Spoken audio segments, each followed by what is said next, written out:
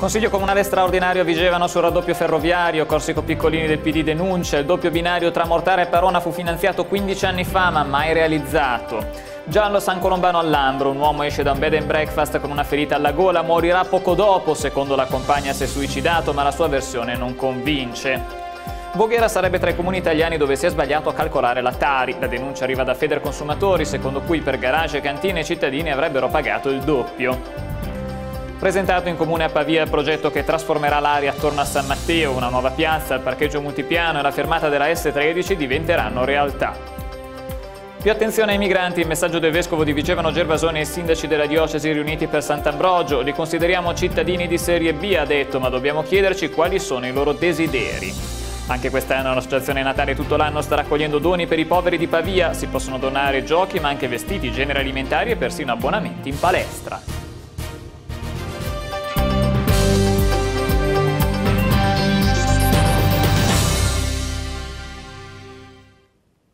Buonasera, benvenuti a Pavia News. Si è tenuto ieri sera a Vigevano un consiglio comunale straordinario interamente dedicato al tema del rischio che non venga effettuato il raddoppio della linea ferroviaria Milano-Mortara, questo seguito di un documento diffuso un paio di settimane fa dalle ferrovie e inviato alla provincia eh, di eh, Pavia. Sentirete tra poco le varie posizioni emerse nel dibattito, ma eh, soprattutto vi anticipo la notizia notizia che è emersa e eh, cioè che quando nel 2002 eh, fu, eh, fu, autorizzato e finanziato il raddoppio tra eh, Milano e Albairate fu contemporaneamente autorizzato e finanziato anche il tratto eh, Parona-Mortara di cui poi si persero le tracce e appunto ci si chiede dove siano finiti i soldi e i binari. Il Consiglio Comunale dà mandato al sindaco affinché al tavolo 1 venga attivato il patto per la Lombardia in merito all'intervento raddoppio Milano-Mortara. Questo documento che il Consiglio Comunale di Vigevano ha votato all'unanimità si chiede un tavolo di confronto tra lo stesso Comune, Ministero delle Infrastrutture, Regione ed RFI per l'attuazione del punto del patto per la Lombardia che prevede il completamento del raddoppio della Milano-Mortara che le stesse ferrovie hanno recentemente dichiarato di non avere intenzione di fare in un documento inviato alla provincia di Pavia.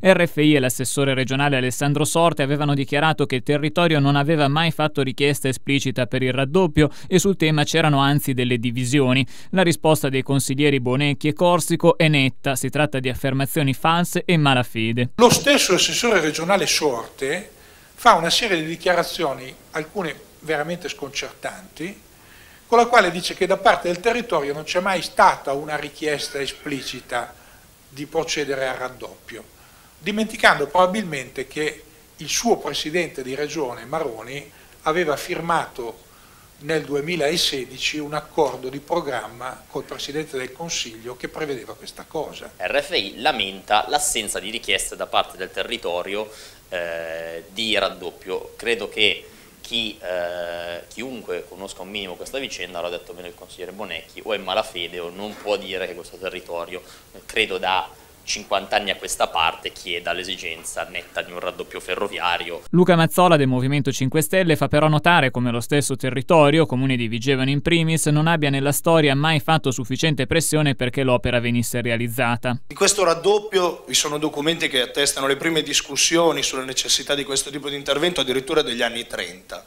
Quindi stiamo parlando di un problema che ci portiamo dietro come territorio davvero da troppo tempo e non è mai stato affrontato nella maniera corretta. Per il sindaco Sala il problema è un altro. Le ferrovie, attraverso il patto per la Lombardia firmato da Renzi e Maroni, hanno avuto un mandato direttamente dal governo per completare il raddoppio e ora stanno ignorando un impegno preso dal loro azionista di maggioranza, cioè lo Stato. Anche a RFI qui è venuto a mancare il fatto che non riconosce il padrone, che è il governo. Qui il problema però è far capire, capire soprattutto dentro RFI tra chi governa come riesce a convincere chi sta a capo della società che deve fare quello che gli dice il governo. Pare questa non essere l'unica manchevolezza di RFI. Corsico Piccolini recupera una storia vecchia ormai di 15 anni e, come si suol dire, passata in cavalleria. Nel 2002 vennero approvati e finanziati insieme sia il raddoppio tra Milano e Albairate che quello tra Mortara e Parona. Mentre il primo tratto è stato realizzato, l'altro è stato abbandonato, nonostante da allora ci sia a disposizione un finanziamento da 200 milioni di euro mai ufficialmente revocato. Quindi qualcuno mi deve dire dov'è finita la tratta tra Mortara e Parona. Addirittura, mi risulta, in quel pezzo sono state iniziate delle opere mai portate a termine. Mai portate a termine, sono dei cavalcavia, eccetera. E su questa vicenda, soprattutto sul, sull'ultima parte, cioè questo raddoppio nel tratto tra Mortara e Parona, finanziato adesso si scopre, ma eh, mai effettivamente realizzato, c'è una novità, cioè che probabilmente ci sarà una interrogazione parlamentare appunto per chiedere conto di questi soldi o se nel frattempo magari sia effettivamente intervenuto qualche cosa che eh, poi ha fatto sfumare eh, l'opera, vi terremo aggiornati. Eh, la cronaca con un fatto che è salito anche alla ribalta nazionale, il mistero di San Colombano all'Ambro il mistero eh, del bed and breakfast, un uomo è stato trovato questa mattina sgozzato, la donna che era con lui dice si è suicidato, ma sarà vero? La macabra scoperta è avvenuta dopo la chiamata di soccorso, arrivata attorno alle quattro e mezza di notte, quando i carabinieri sono arrivati nel bed and breakfast di via Belfugito a San Colombano all'Ambro, paese al confine tra le province di Pavia e Milano. Hanno trovato il corpo riverso sul vialetto con un profondo taglio alla gola. Il morto è un uomo di 34 anni, di origini pugliesi. A dare l'allarme è stata la donna che era con lui, una quarantenne, originaria di Bari. Con tutta probabilità i due, separato lui, sposata lei, avevano da tempo una relazione e si erano incontrati nel motel per passare del tempo insieme. La donna, sotto shock, ha spiegato poi ai carabinieri di San Donato che il 34enne si sarebbe ucciso in preda ad un raptus, colpendosi alla gola con un coccio di vetro di un vaso spaccato. Una versione che gli inquirenti stanno vagliando scrupolosamente, non escludendo l'ipotesi che si tratti in realtà di un omicidio, dato che la ferita era forse troppo profonda per essere frutto di un gesto autolesionistico. Stando ad una prima ricostruzione, il 34enne, in magliette e pantaloni, è corso fuori dalla stanza in piena notte, con temperature vicine allo zero, perdendo sangue dal collo. Ha percorso alcuni metri lungo la veranda ed è sceso per la scala che porta al vialetto interno della proprietà, in fondo alla quale si è accasciato. I soccorritori lo hanno trovato ancora vivo, ma agonizzante importante per la gran quantità di sangue perso. L'uomo è morto poco dopo, nonostante gli sforzi dei medici. I carabinieri hanno interrogato a lungo la donna per cercare di fare piena luce su quanto accaduto la notte scorsa all'interno del bed and breakfast. La quarantenne è stata poi portata in stato di shock al pronto soccorso dell'ospedale di Lodi. Al momento non risulta però in stato di fermo. Se ne parla da tempo, adesso c'è il progetto ufficiale, soprattutto ci sono i soldi per eh, cambiare, cambiare completamente il volto dell'area attorno al Policlinico San Matteo a Pavia. Un piano di interventi che cambierà completamente il volto del Policlinico e dell'area circostante grazie alla sinergia tra il San Matteo ed il Comune di Pavia. Innanzitutto nascerà una nuova piazza nei pressi del DEA con attività commerciali, un asilo nido e un nuovo parcheggio multipiano, senza dimenticare l'elisuperficie che permetterà l'atterraggio degli elicotteri in qualsiasi momento del giorno e della notte. Verrà inoltre spostato l'ingresso delle ambulanze in via Taramelli, ripristinando il vecchio punto d'accesso mentre via Campeggi sarà riservata al solo ingresso pedonale. Il San Matteo cambia volto, cambia soprattutto l'approccio al San Matteo, quindi la la prima visibilità del San Matteo cambia volto. Era un obiettivo importante, era un, un impegno che avevamo e eh, soprattutto era, era, dovuto, era dovuto alla città e al San Matteo di riprendere questa, questa facciata e riqualificare quello che è la, la, la, la, via Campeggi. Questo piano ci dà la possibilità di, di far costruire, quindi di avviare le procedure per costruire il parcheggio innanzitutto, ma più che il parcheggio, che sarà un parcheggio multipiano, di fare questa piazza, di prevedere una piazza, delle, delle, degli edifici in cui ci sarà attività commerciale e eh, previsto il, il mio sogno nel cassetto, che non è più fuori del cassetto, oramai realizzato, si può realizzare, che è l'asilo nido oltre a questo la cosa più importante e prima di tutto, perché nel piano prima di tutto faremo questo, è la creazione delle superficie, di superficie che come sapete manca a Pavia e che è indispensabile per, per poter permettere l'accesso delle emergenze, dei politraumi al San Matteo. Questi gli interventi messi in campo dal Policlinico, ma anche il Comune di Pavia farà la sua parte, migliorando la viabilità della zona grazie ai fondi del bando periferie e del patto per la Lombardia. In che modo? Prima di tutto prevedendo la nuova fermata del passante ferroviario in Viale Brambilla. Un passaggio pedonale sopraelevato consentirà l'arrivo in sicurezza al DEA con soli 300 metri di distanza da percorrere. Anche la viabilità nel suo complesso muterà in due fasi. Nel 2018 verrà realizzata la nuova strada che collegherà lo svincolo della tangenziale al CNAO con una rotonda da posizionare nei pressi del CUS ed un senso unico in uscita da via Campeggi.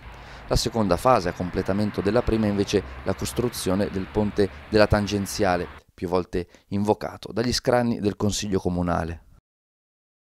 Servizio straordinario di controllo del territorio effettuato nella mattinata di ieri a Voghera dal personale del commissariato di polizia insieme alle pattuglie del reparto prevenzione crimine di Milano. È stata in particolare perlustrata l'area di piazza San Bovo e di via Matteotti dove sono state identificate parecchie persone, alcune delle quali aventi a loro carico precedenti penali o di polizia.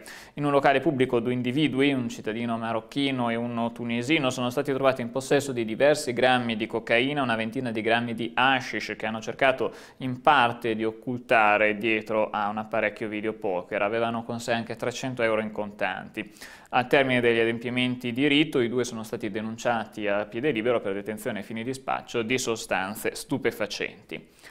Rimaniamo a Voghera per l'annosa questione della bonifica della Recology, c'è stato un nuovo incontro tra il comune e i legali che stanno seguendo la vicenda, ricordiamo che c'è anche un fallimento eh, di mezzo, si procede davvero a piccoli passi.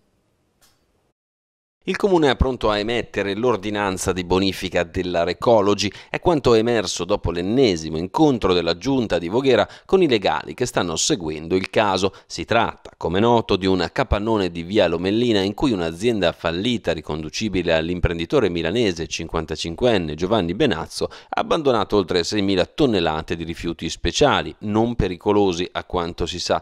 Con la procedura di fallimento in corso, procedere alla bonifica si è rivelato però più complicato mercato del previsto. Nei giorni scorsi uno striscione con la scritta Vendesi è apparso sul capannone. Ciò ha suscitato la speranza dei residenti che da tempo non nascondono la loro preoccupazione per le possibili ripercussioni sulla salute derivanti da quella che è ormai diventata a tutti gli effetti una discarica di rifiuti. Se il comune dovesse emettere l'ordinanza, come appare probabile, i soggetti responsabili saranno quindi obbligati a dare corso alla pulizia. Il problema però è sempre lo stesso, capire chi è responsabile responsabile giuridicamente del capannone pieno di immondizia dopo che i titolari della ditta hanno dichiarato fallimento, la provincia, la regione, il comune o forse i proprietari che avevano affittato l'immobile e che pur non c'entrando nulla con l'attività svolta dalla Recology ora potrebbero essere obbligati a sborsare quasi un milione di euro per rimettere tutto a posto. In comune hanno a più riprese sottolineato che c'è la massima attenzione al caso. Verrà sicuramente bonificata a spese del comune la maxi discarica abusiva che invece è stata trovata in aperta campagna a Pieve Albignola, non lontano dalla strada per la frazione Bombardone. Qui qualcuno ha buttato lì una grande quantità eh, di eh, rifiuti e ora appunto soldi pubblici dovranno occuparsene. Una maxi discarica a cielo aperto in piena campagna. C'è di tutto chi più ne ha più ne metta, dimostrazione che l'inciviltà non ha davvero confini. Un'inciviltà che ha attirato le ire dell'amministrazione comunale di Pieve Albignola, che si trova costretta, nonostante il territorio sia di competenza della provincia di Pavia, ad intervenire per portare via, almeno in parte, ciò che è stato abbandonato. Sparsi per quasi un 200 metri lineari in un boschetto c'è davvero di tutto, da elettrodomestici in disuso a giochi per bambini rotti, da mobilio usurato a bidoni e fusti con chissà cosa dentro. Qua e là si notano anche lastre di amianto e contenitori di solventi e vernici, sostanze pericolosissime se percolano nel terreno e finiscono nel campo limitrofo adibito a risaia. La discarica sorge a lato della provinciale che collega la frazione Cascinotto-Mensa a Bombardone, appena si scende dal cavalcavia dell'autostrada Milano-Serravalle. Sul piede di guerra gli amministratori dei comuni che si spartiscono il territorio, in quanto più di una volta sono dovuti intervenire per bonificare almeno parzialmente l'area, nonostante le operazioni sarebbero a carico della provincia di Pavia. Ente che, secondo gli amministratori, potrebbe almeno posizionare un guardrail che limiti l'accesso alla discarica abusiva proprio per evitare che altri incivili vadano a gettare ulteriori rifiuti ingombranti. Sta di fatto che ancora una volta la campagna è oggetto di scellerati che non conoscono davvero cosa significa rispettare la natura ed il vivere comune. Voltiamo pagina, oggi è Sant'Ambrogio, patrono della diocesi di Vigevano, è tradizione che i sindaci dei comuni appartenenti alla diocesi si ritrovino proprio a Vigevano per un momento di confronto con il vescovo Gervasoni. E Monsignor Gervasoni ha scelto per quest'anno di parlare di immigrazione. Si è concentrato sul tema dell'immigrazione il discorso del vescovo di Vigevano Maurizio Gervasoni ai sindaci della diocesi per la festa dedicata al patrono Sant'Ambrogio. I migranti, sostiene il vescovo, sono considerati cittadini di serie B eppure si chiedono loro i doveri di tutti gli altri. Per Monsignor Gervasoni occorre chiedersi cosa vogliono i migranti. Gli immigrati sono accolti se sono lavoratori e come tali vengono trattati. In prima battuta non sono cittadini che vivono ma sono prestatori d'opera che quando non servono più tornano da dove sono venuti. Pensiamo agli immigrati come se fossero anonimi e, e devono pensare quello che vogliamo noi, ma non è mica vero, loro pensano come vogliono loro, ma quello che pensano loro noi non lo sappiamo.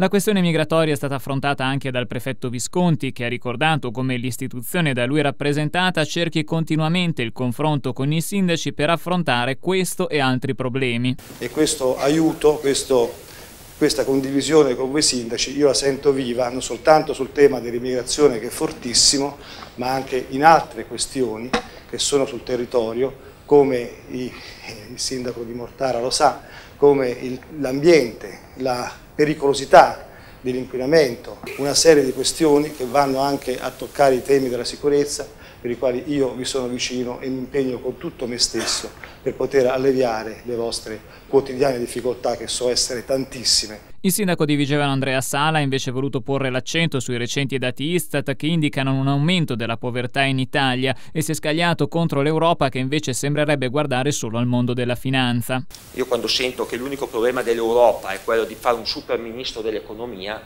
dove eh, già le sovranità nazionali sono state abbastanza messe in secondo piano davanti all'Europa e adesso sembra che la centralità deve essere un super ministro dell'economia quando hai problemi diciamo eh, sociali perché poi questi diventano problemi sociali e quindi di spesa per aiutare le famiglie, quindi trovare delle soluzioni. Povertà, immigrazione e ambiente sono i problemi evidenziati anche dal sindaco di Zinasco, autore quest'anno del discorso a nome dei sindaci lomellini. L'insieme di questi e molti altri fattori portano inesorabilmente ad una crisi della partecipazione politica e alla sfiducia nelle istituzioni.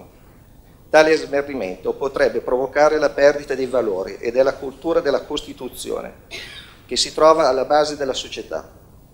Il nostro ruolo di amministratori ci chiama ad aggirare queste incertezze, ad impegnarci costantemente per risolvere del tutto o in parte i problemi della cittadinanza. Il consigliere provinciale Emanuele Corsico Piccolini ha voluto invece dare un segnale di speranza per il territorio dato dalla formazione dei collegi della nuova legge elettorale.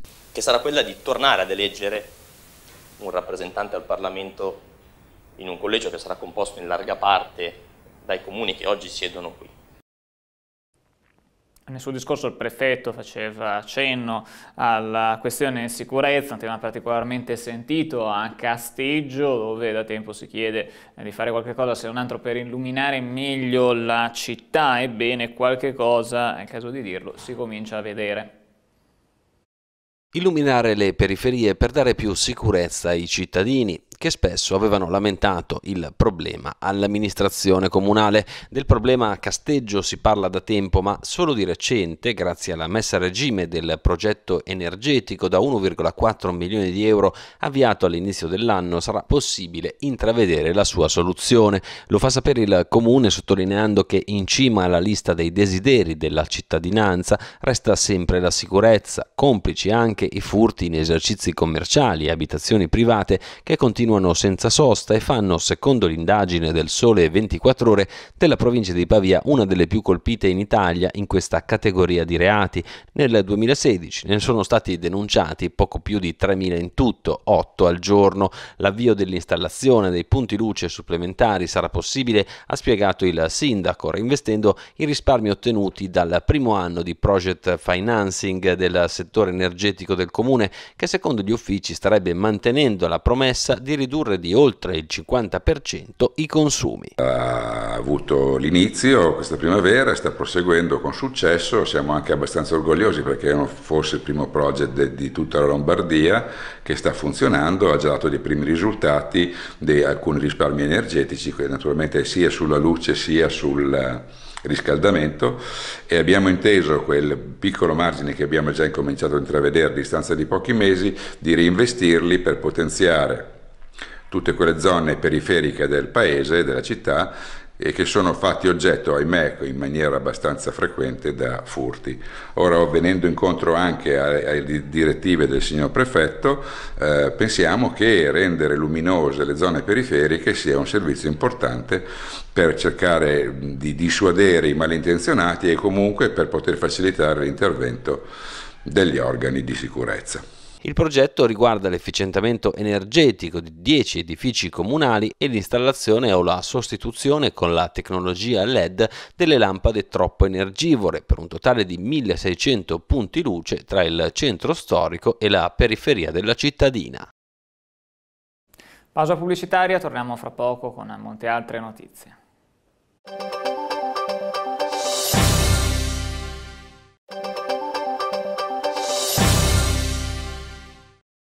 Ancora insieme con Pavia News, quante volte vi raccontiamo di incidenti stradali causati dai cinghiali o di danni all'agricoltura, sempre per colpa dei cinghiali. Ebbene, adesso c'è un allarme di Confagricoltura, secondo cui ci sarebbe una vera e propria migrazione di ungulati dai territori confinanti. Ha fatto bene a collegare un po' tanti dei danni che si stanno verificando e anche la presenza di, di, tanti animali in numero molto superiore a quello che ci si aspettava anche, anche dal cambiamento climatico.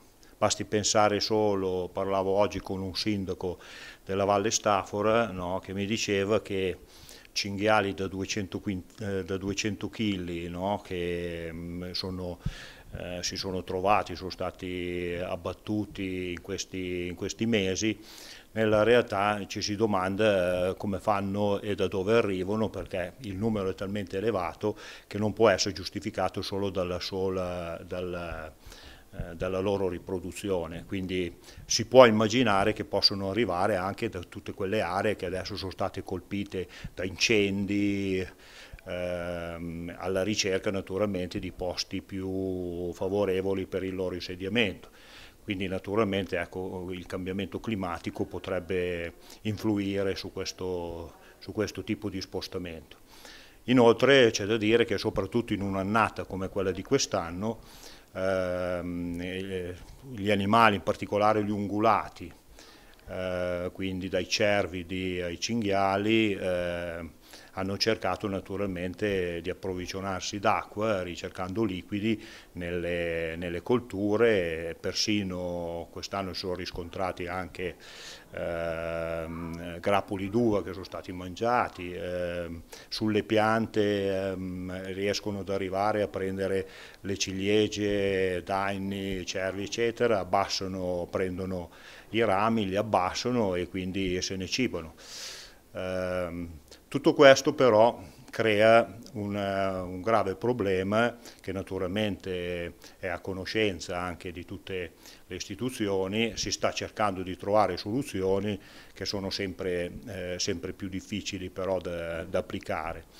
Eh, però questo, questa situazione di fatto sta mettendo in pericolo l'esistenza stessa delle aziende agricole.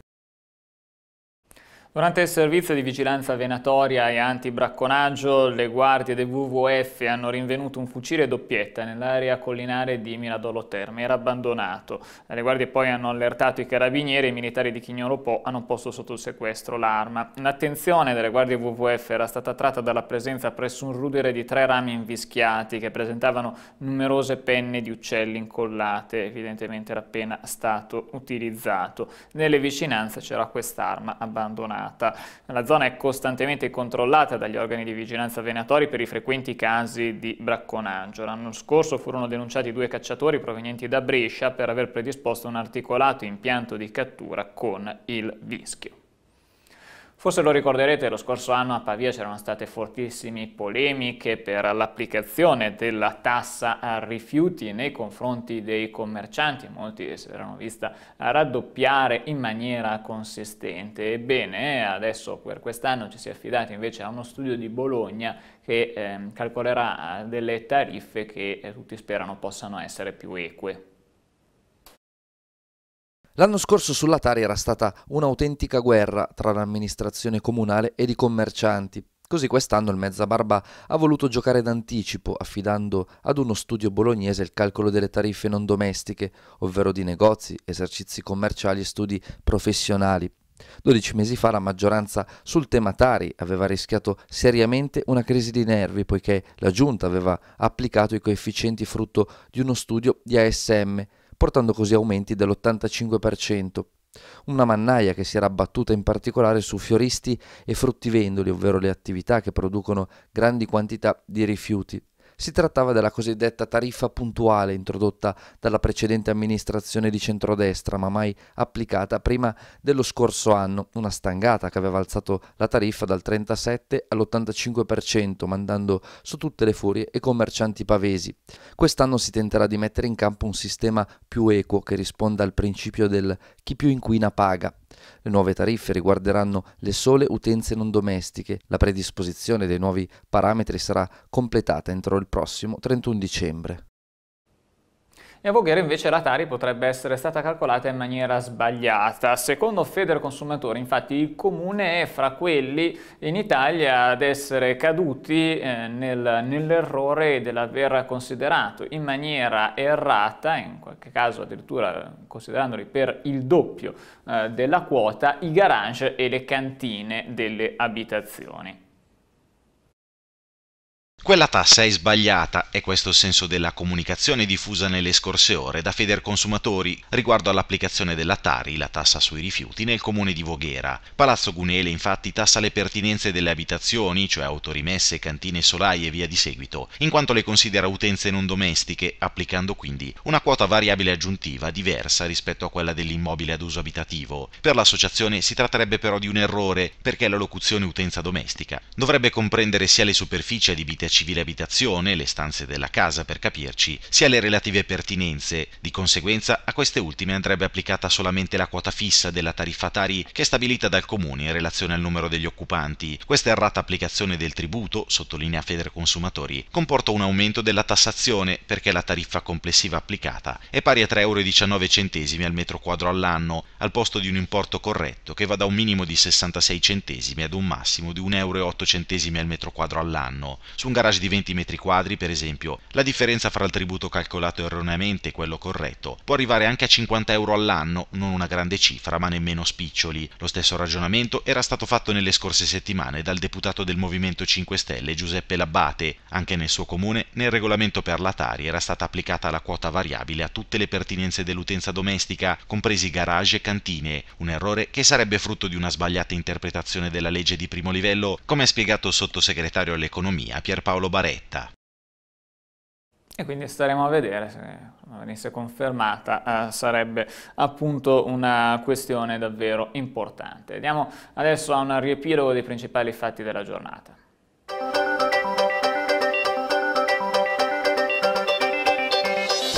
Giallo, San Colombano all'Ambro, un uomo esce da un bed and breakfast con una ferita alla gola, morirà poco dopo, secondo la compagna si è suicidato ma la sua versione non convince.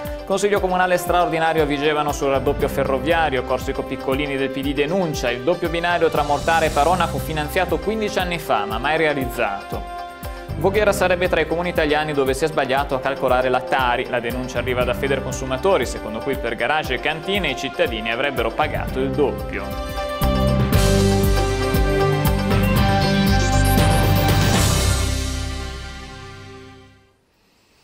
È stato a volte al centro delle cronache cittadine per episodi anche poco edificanti, ma è soprattutto una struttura di accoglienza oggi, forse un po' in crisi. Stiamo parlando del villaggio San Francesco di Pavia che il comune darà in gestione a degli esterni, a dei privati, una vicenda su cui ci sono le critiche dell'opposizione.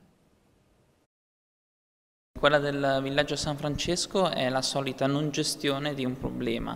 Eh, è stato utilizzato negli ultimi anni come parcheggio di minori stranieri non accompagnati e oggi che esplode il problema il comune dice che non è più in grado di gestirlo e quindi eh, lo, dà, lo, dà, in gestione. Questo al di là della scelta o meno di esternalizzare, di privatizzare, ma è proprio concettualmente come metodo eh, l'abdicazione della politica dell'amministrazione del proprio ruolo, cioè quello di gestire i problemi e magari prevenirli. Ecco, in questi anni non, non è stato fatto nulla di tutto ciò e adesso ci troviamo in una situazione problematica che il Comune, per ammissione della stessa assessore Moggi, non è in grado di amministrare e gestire con le proprie forze. Allora, una grande delusione da parte mia perché io ho provato a, ad aprire il dibattito se il villaggio San Francesco è ancora una struttura idonea rispetto agli obiettivi che perseguiamo, perché noi come comune dobbiamo preoccuparci delle persone che stanno male, dobbiamo preoccuparci di aiutarle effettivamente e per le situazioni più estreme dobbiamo cercare di aiutare queste persone a rimettersi sui binari della vita.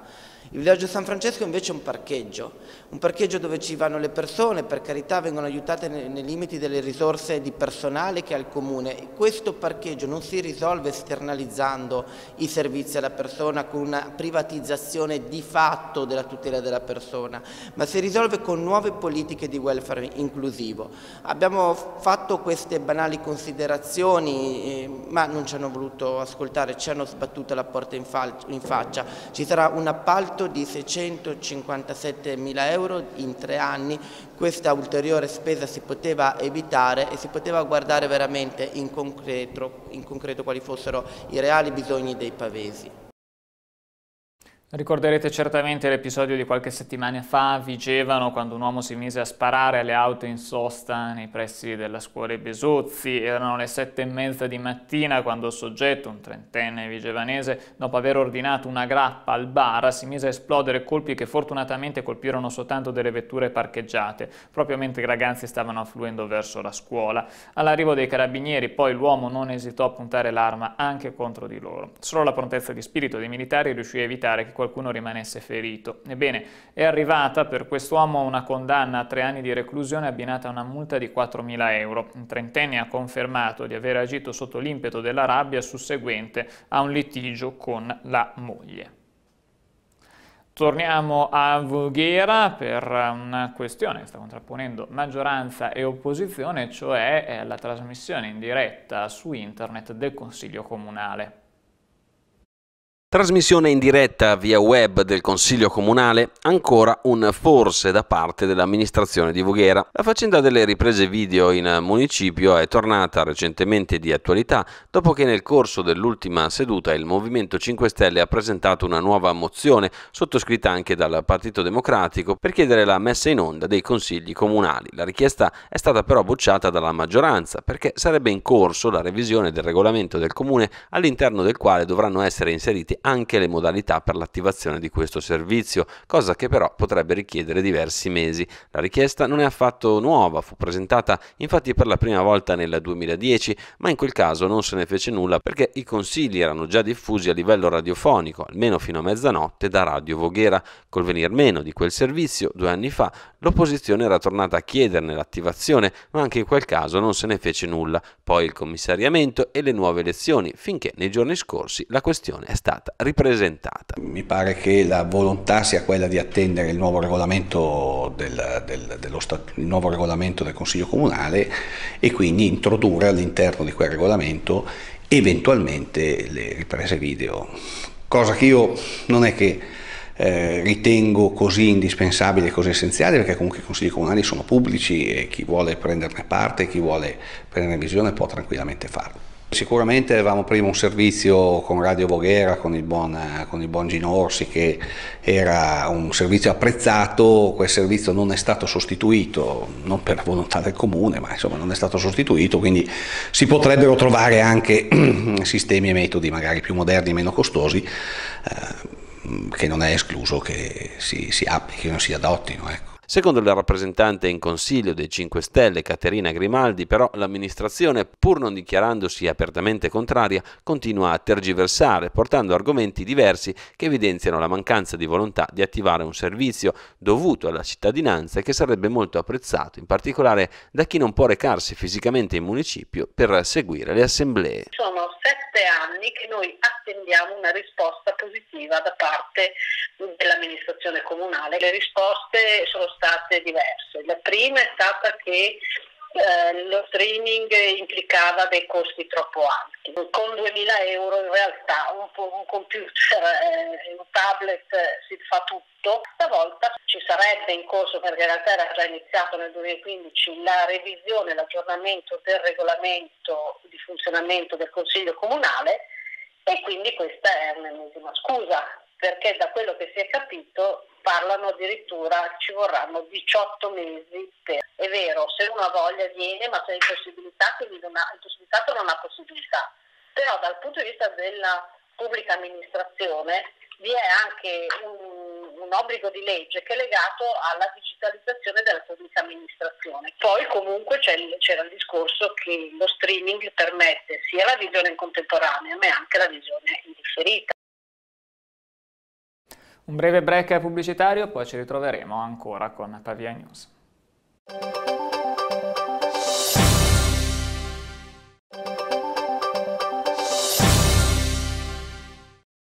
Bentornati a Pavia News. Si replica anche quest'anno la lodevole iniziativa a Pavia di raccolta di doni per le famiglie meno abbienti.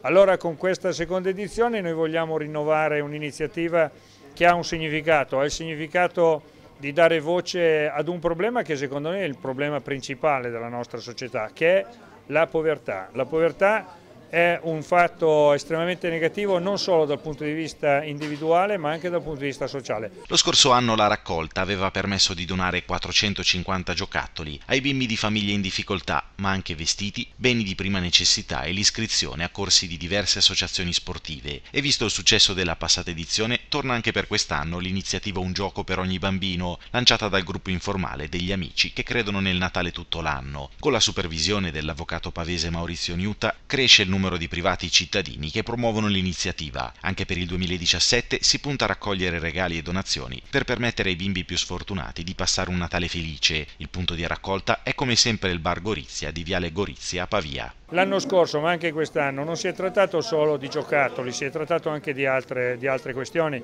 Abbiamo consegnato vestiti, abbiamo consegnato anche generi alimentari, abbiamo consegnato anche la possibilità per qualcuno che ci ha indicato delle situazioni particolari di poter frequentare delle palestre, delle strutture sportive a titolo gratuito. Ecco, questo sta un po' il significato di questa iniziativa che abbiamo visto con piacere che altri stanno riprendendo perché chiaramente non possiamo certamente coprire grandi porzioni di territorio, però il significato sta proprio in questo, far capire a tutti che siamo parte di una società, che nessuno si deve sentire escluso, che nessuno deve rimanere indietro, almeno per quanto concerne quelli che sono i diritti fondamentali. Secondo significato che abbiamo voluto dare come l'anno scorso, coloro i quali volessero acquistare giochi, perché chiaramente si parla di giochi nuovi o comunque in ottimo stato, eh, non si parla di altro, noi invitiamo ad acquistare nei negozi di Pavia o della provincia di Pavia perché eh, crediamo anche che si debba dare significato a questa solidarietà territoriale.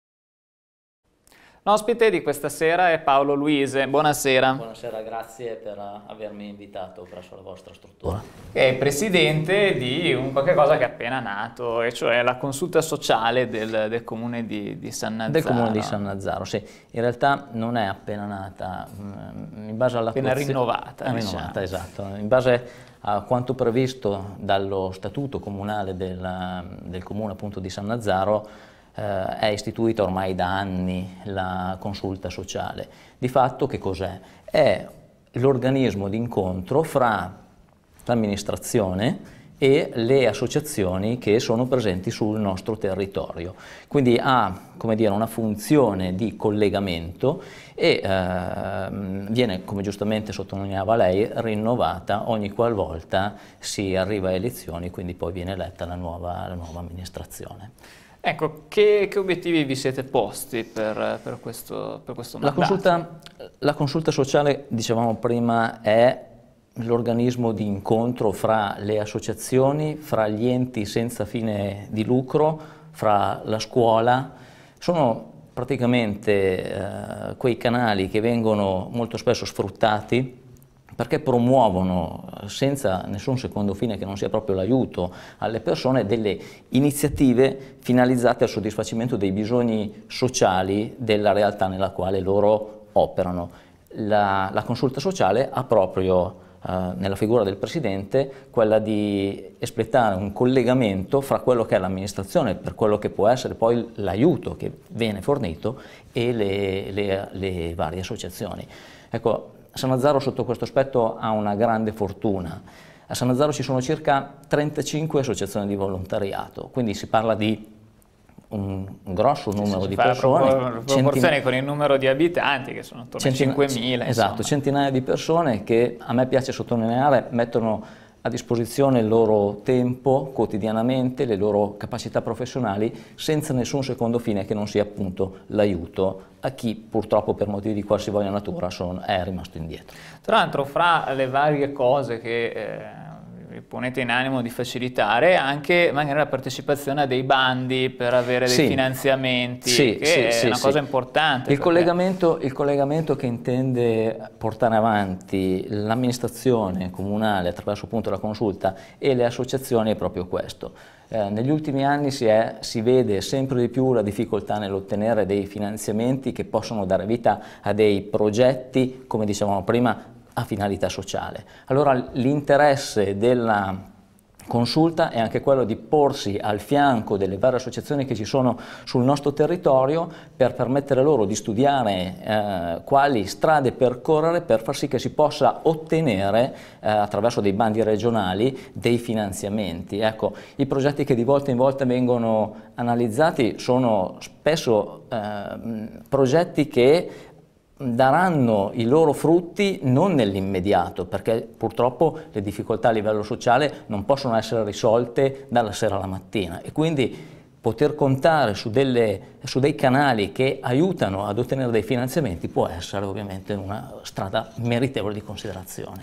Nel vostro programma mi sono anche appuntato questo, questo aspetto, oltre a quello che ci si può immaginare da una consulta per il sociale, cioè sostiene le fasce più deboli, che possono essere certo. gli anziani, piuttosto che uh, ad, altre, ad, altre, questioni, vi ponete però anche uh, su temi come ambiente, sanità, prevenzione. Sì, sì. Ehm, Sanazzaro è una realtà abbastanza particolare, nel senso che eh, potendo contare su dei poli tecnologici che ovviamente hanno dato grande benessere nell'arco degli anni al nostro territorio, però presentano anche la, delle problematiche. Uno di questi è appunto eh, lo studio che si intende portare avanti sulla, sulla, salute delle persone, dei residenti che vivono eh, nel territorio.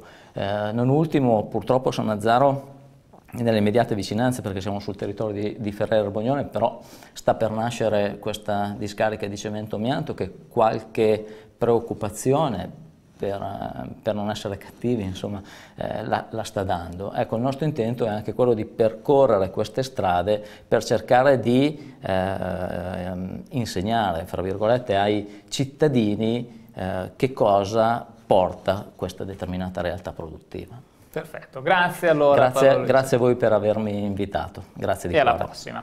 Eh, adesso invece parliamo di una buona notizia perché forse ve lo ricorderete qualche tempo fa vi abbiamo raccontato la storia di un medico oltrepadano che eh, curava gli, eh, gli, addetti del circo un po' di tutta Italia che appunto essendo nomadi per definizione avevano in lui un punto di riferimento. Lo faceva da volontario, adesso invece la cosa si è istituzionalizzata con un protocollo tra l'ente circhi e la SST di Pavia. Un'iniziativa senza precedenti, come quasi senza precedenti la passione per il mondo del circo che anima l'attività del dottor Giansisto Garavelli, medico del servizio dipendenze ex CERT all'ospedale di Voghera, che da qualche anno ha iniziato a prendersi cura a titolo personale gratuito della salute dei circensi. Il protocollo d'intesa appena siglato tra la SST di Pavia e l'ente nazionale circhi prende avvio proprio da qui, ma ora diventa il primo accordo istituzionale tra un'azienda sanitaria e l'associazione di categoria dello spettacolo più antico del mondo. Grazie a questa collaborazione l'ente Circhi si impegna a diffondere la cultura della salute avvalendosi delle strutture dell'azienda pubblica pavese. L'obiettivo, recita il testo della convenzione, è quello di garantire l'accoglienza e alleviare i disagi dei circensi. Lo stile di vita nomade necessita infatti di avere a disposizione una rete di esperti che possa essere di supporto all'attività degli operatori. Il presidente dell'ente Circhi Antonio Buccioni ha espresso espresso grande soddisfazione per l'ufficializzazione dell'accordo, sottolineando inoltre che il protocollo metterà in comunicazione virtuosa il mondo del circo con una eccellenza in ambito sanitario qual è la SST di Pavia. Credo che il circo italiano, ha dichiarato,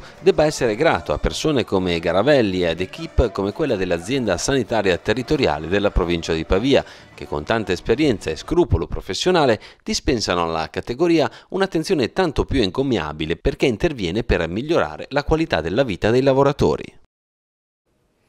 Lo sport, la pallavolo, un campionato di Serie B1 femminile davvero carico di eh, sorprese ed entusiasmo, moltissime squadre in pochi punti là in alto con la Florence Vigevano che vincendo sabato in casa contro Acquiterme potrebbe addirittura agganciare il primo posto in classifica. La Florence ha ritrovato punti ed entusiasmo. Dopo la brutta sconfitta casalinga contro Palau, infatti la vittoria per 3-0 ottenuta in trasferta contro il Parella Torino ha riportato le Tigri nelle posizioni alte della classifica, una partita che nascondeva parecchie insidie, le avversarie nonostante si trovino appena sopra la zona retrocessione in casa loro sono infatti sempre molto temibili. La partita è stata abbastanza combattuta nonostante fosse una squadra un pochino bassa in classifica, ma come sempre questo campionato campionato è equilibrato e anche le squadre che magari sono un po' più giovani un po' inesperte alla fine mh, fanno vedere il loro, il loro valore. E, mh, non è stata una partita facile perché comunque in casa loro non è facilissimo giocare, è una palestra un po', un po piccolina, un po', cioè loro sono aggressive quindi comunque non è facile facile. E niente, il primo set è stato combattuto, loro hanno difeso bene, attaccato bene e noi siamo comunque riusciti a conquistarci il primo set, poi il secondo e il terzo sono stati un pochino meno combattuti, secondo me comunque perché noi siamo riusciti a esprimere il nostro gioco. Il calendario offre una buona opportunità. La partita in programma sabato al Paolo Bonomi con inizio alle ore 18 vedrà le Ducali impegnate contro Acquitermi attualmente in decima posizione in classifica. L'obiettivo è naturalmente quello di chiudere il match in fretta e portare a casa i tre punti. Allora, Acquiterme non sono in posizione avanzata nella classifica, sono metà classifica medio-bassa. Nonostante la posizione però è una squadra rognosa Dobbiamo fare attenzione perché è una squadra che sicuramente non molla mai, non, eh, non si arrende facilmente e noi dobbiamo fare del nostro, della nostra difesa e attacco il punto di forza. Il campionato continua a essere entusiasmante. La favorita settimo torinese è sempre al comando, ma la Florence, quarta in classifica, è a soli tre punti di distacco. Adesso siamo, ci troviamo a tre punti dalla prima in classifica, quindi è d'obbligo vincere sabato, vincere con i tre punti e quindi aspettiamo tanto tifo per farcela. Qualche secondo per parlarvi dell'appuntamento di questa sera con il nostro talk show Parole in Piazza perché si parlerà di infrastrutture per il territorio, si parlerà della superstrada Vigevano-Malpensa e dell'autostrada Broni-Mortara, temi che eh, sono davvero di grandissima attualità soprattutto in questi giorni, quindi appuntamento a partire dalle ore 21.10. Per il momento io vi saluto, arrivederci.